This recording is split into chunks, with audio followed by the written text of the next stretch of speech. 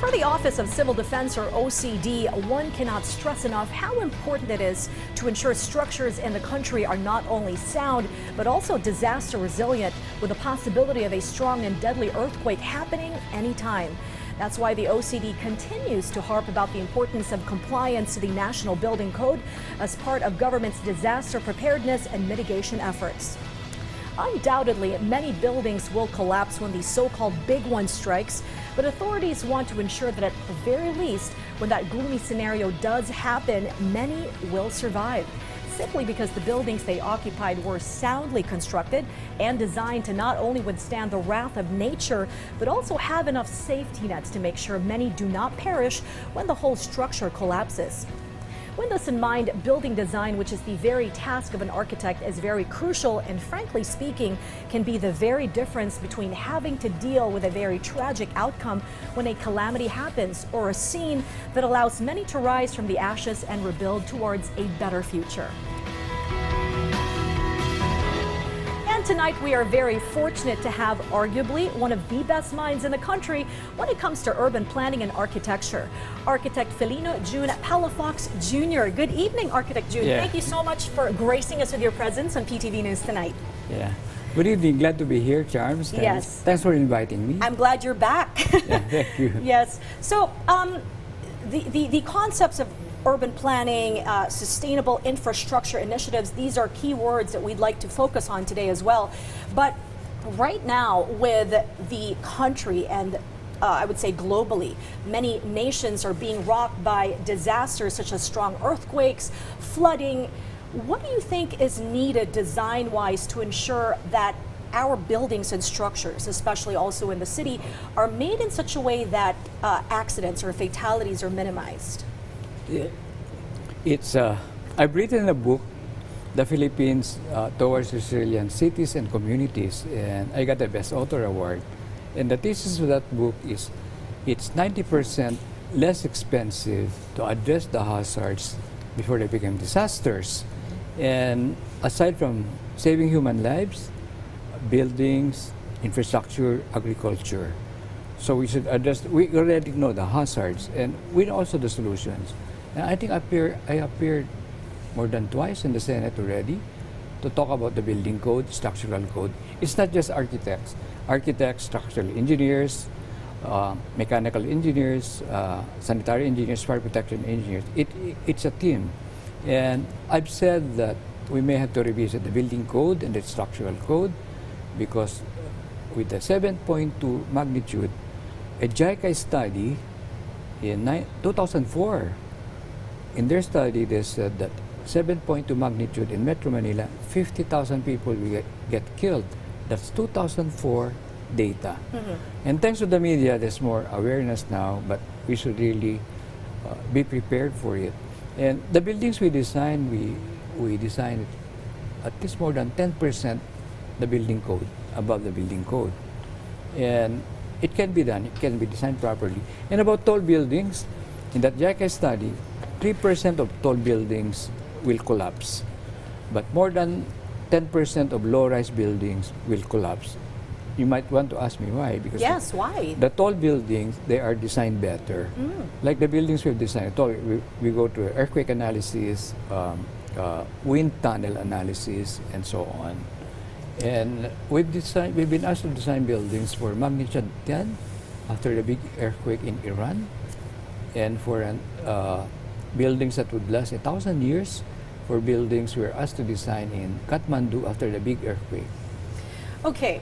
Well, you have sort of led into my next question, Architect Palafox, uh, which is great because we'd like to ask, uh, with the big one, you know, being forecasted to be just around the corner, and uh, also with the possibilities, as you said, that 10% of low-rise buildings building. will actually collapse as in comparison to maybe 3%, 3% for tall taller building. buildings because they're, they're uh, better built, like you, yeah. like you mentioned.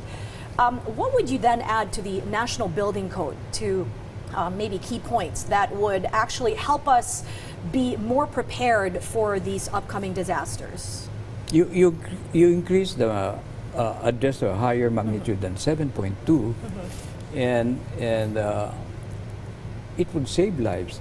Another concern is buildings that were not built properly, like not following specifications. Like in the latest uh, Super Typhoon Odette in Siargao, the building we designed was not damaged at all. And we also master planned the whole island of Siargao. And it can be done by design. Yeah. So it's not enough to say it was an act of God. not true. Even the one that happened in Dubai, Right. it's not an, it's not an, it's it's it's explainable why it's happened. Mm-hmm, Yeah. Yeah, well, as you mentioned, uh, the flooding in Dubai was um, also extremely catastrophic. So, with the Philippines going through 20 and plus more typhoons and uh, a, lot more violent storms, might I add, how can the country um, continue to build structures that would prevent these kinds of scenarios from happening? You mentioned earlier, and I, it's very important to point out that you said it's much cheaper to address the hazards first. 90% less expensive Yeah. before they become disasters. Like comparing, Dubai, I was part of the urban planning of Dubai, and and uh, the desert storm rains was more than almost twice the rainfall that Dubai gets throughout the year. And before Dubai was developed, the desert storm rains would uh, percolate to the ground. Because until 1965, Dubai did not have a single kilometer of paved road. Now it's paved roads still in concrete. Coming back to Metro Manila, the reason why there's more flooding now, like the higher ground, like uh, like Fort Bonifacio, it used to be grass. Now you have concrete, so you have a larger runoff water coming down, and so on. And I described this after Ondoy, because the solutions were put forward in the mid 70s, they were never implemented.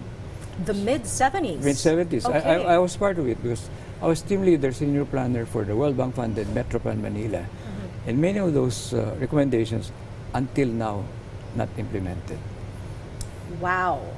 That is another conversation to be had.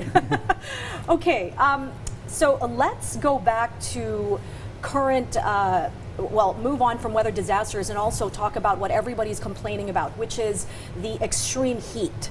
Um, we are now experiencing surging temperatures that are beyond what we've seen, uh, maybe even beyond the past five years. And we're now looking at dangerous heat index classifications of temperatures, sometimes even reaching 47, almost 50 uh, degrees Celsius. How can urban design and I would say planning help in reducing these heat health risks? As you mentioned earlier, Metro Manila has now become a paved jungle. Um, so, Yeah. how do we how do we start to begin with? Yeah, we need the lungs of the city. Okay. 1979 Metro Manila zoning code, there were more parks and open spaces. Unfortunately, some local governments have allowed the reclassification of parks and open spaces into buildable, saleable areas. That's one. Mm-hmm. And I've, I've been advocating that every car you own, you must plant 10 trees to recover the oxygen out of the carbon monoxide per car. So if EDSA corridor has 500,000 vehicles per day. EDSA corridor should have 5 million trees. Ayala Avenue is about 70,000 cars a day. Ayala Avenue should have uh, 700,000 trees. And uh, other than that, uh, we have, there are, urban planning wise, we should be able to, to address those also. Even our building code, you could build, build high-rise buildings uh, less one meter apart. Even earthquake-wise, they could bump each other. In Singapore, the buildings in Singapore, 100% open space. Because the footprint of the building, they put sky gardens on the rooftop. So they compensate for the for the lack of it. Uh, island heat effect also, because too much concrete and so on. We could we could address. We've designed 11 schools in Bam, Iran, uh, bringing back the wind tower of the Middle East before they discovered oil. Cuts the wind from above, ventilate the rooms below, cross ventilation. I'm told it's 20% low, uh, uh, lower degrees during summer, uh, 10 degrees lower in autumn. So by architectural design, green building principles, they can be addressed. Wow. Okay, we just have to get started then. um, okay, uh, I have recently um, discovered a UN Habitat report that says there is now a phenomenal shift. Well, we don't need a report to know that, but um, looking towards the numbers, there is now a phenomenal shift of um, urbanization. They say that five out of every 10 Filipinos are now moving to live in the cities, and we're now looking at, um, I would say, 84% of individuals moving uh, in, in, in a citywide population by 2050. Of course, one of the biggest impacts of this is traffic congestion. And I think, in my opinion, my humble opinion, this is also um, the traffic woes that we see out there is also a result of a lack of urban planning.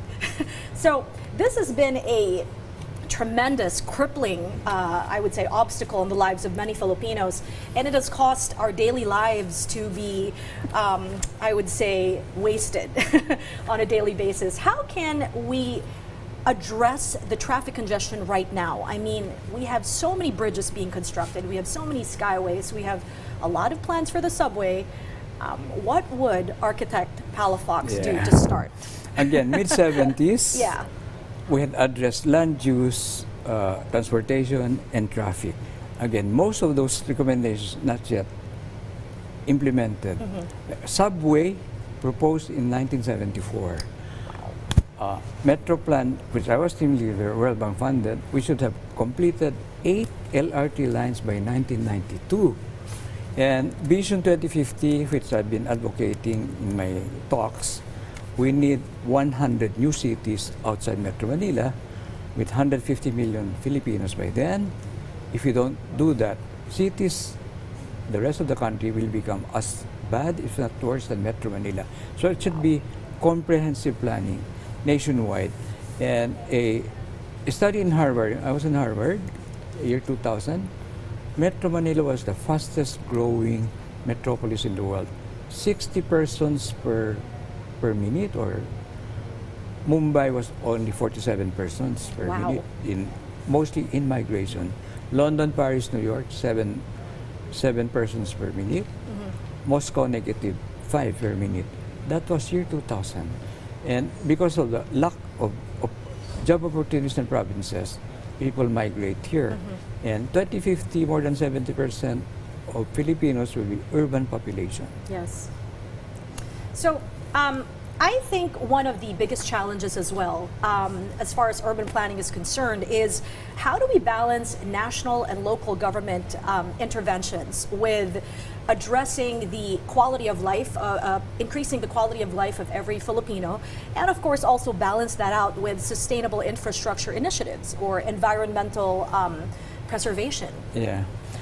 I, I was fortunate that I was hired by Asian Development Bank to help prepare the Philippine Development Plan 2023 to 2028.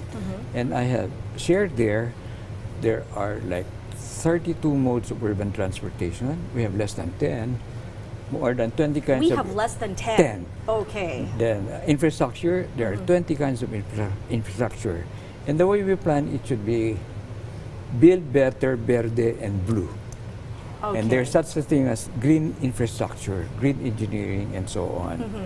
And, and the environment, uh, I'm, I'm also a registered environmental planner, just like you. Yes. And, and there are solutions we know, but they are not implemented. If I may share here, the, Yes, please. the success of places we keep comparing, why not like uh, Singapore or, or Dubai? I've worked with the rulers of Dubai. They have visionary leadership with strong political will, good appreciation of good urban planning, good design like architecture, engineering, and excellent implementation. That should not just be for the national leadership, down to the barangay captain. Mm-hmm. They should have that. And Singapore, Dubai, they have good citizenship. So it's not just be leadership, but citizenship. And there's no continuity. Our planning here is short term and opportunistic, not long term and visionary. That's why at Palafox, we look beyond up to 2050, 2075, 2100. And, Wow. and we are take pictures of the uglification of our cities, We design architectural perspectives. I call them postcards from the future. Hopefully, somebody will implement them. Well, hopefully someone will adapt these blueprints. Okay, you mentioned something I liked, you know, uh, build better, verde, Verde and blue. Okay, now as we know, the Marcos administration's uh, infrastructure program has these, this Build Better program, which aims to spur um, not just economic transformation, but also social transformation. What specific infrastructure um, projects do you think the government right now would be able to um, accomplish, to achieve and manifest, I would say, a better future for Filipinos? Yeah. Uh, there are six categories of infrastructure. Okay, These are the progressive, these mm-hmm. are the international airport and seaports. right. And airports and seaports are the business card of a city and a country. First impression. Okay, Second is hard infrastructure, we know that. Mm-hmm. The roads and utilities. Soft infrastructure, the ease of doing business, no red tape, no corruption. Green infrastructure, not just build, build, build, but plan, plan, plan. And then Internet of Things, uh, um, um, AI, and, uh, and institutional infrastructure. We may have the best plans in the world, but we don't have the institutions to implement them. Nothing will happen. And it's really be yeah. planning is balance. Our development is imbalance.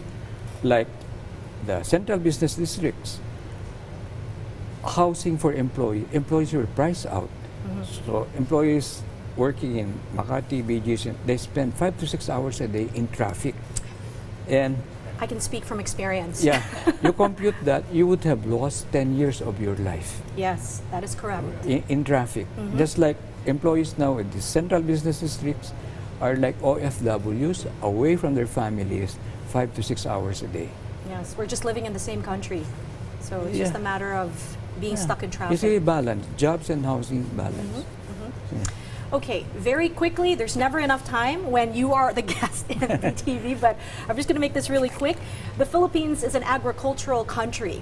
What are your thoughts on uh, individuals saying that agrarian reform is actually stunting the economy and urban development? Again, uh, I, I've been advocating agropolis. Agro, the farm, polis, the city. And they implemented our recommendations in India and Vietnam. Okay, And here, some of the leisure farms and so were advocating that we should also have urban agriculture. I've been told 8,000 hectares of Metro Manila are idle land. And elsewhere, more progressive countries in the world, vacant land in the cities have higher taxes. So you are forced to make them into productive use can be urban agriculture. okay. And then kitchen gardens, the average mileage of from uh, from the farm to the table, food miles, 2,000 miles. And the projects we've done, like in India, kitchen gardens, every house had a kitchen garden. Eliminating all those miles. Perfect. Oh yeah. Yes. well, thank you very much for your insights, Architect Jun Palafox. Like I said, it's never enough time when you are around, when you um, interview a great mind. You gain a whole library. thank you very much. We look forward to seeing you again.